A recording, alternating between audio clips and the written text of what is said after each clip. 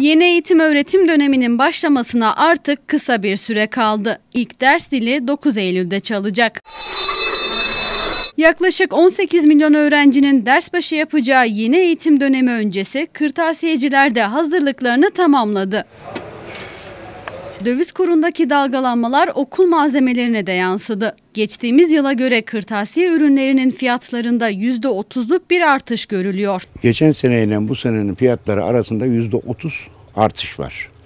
Geçen sene daha düşüktü fiyatlar. Bu sene biraz daha yükseldi. Açılmasına sayılı günler kala kırtasiye alışverişleri de başladı efendim. Çantası, kitabı, defteri, silgisi derken liste uzadıkça uzuyor. Peki bu kabarık liste için ne kadarlık bir bütçe ayırmak gerekiyor? Defterler 1 liradan 2 liradan başlar. Tanesi en pahalı defter 4 lira 5 lira.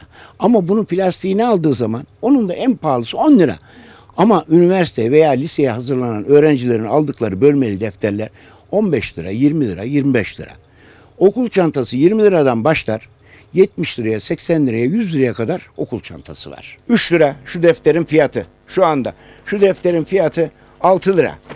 Bu makas 5 lira. Kutulu kalem tıraş 6 lira. Kurşun kalemi 10 lira düzinesi. Öğretmenlerin marka takıntısına da tepkili kırtasiye esnafı. Yerli ürün tercihinde fayda var. Anaokulu öğrencisi devlet okulunda 450 lira bir kişinin listesi.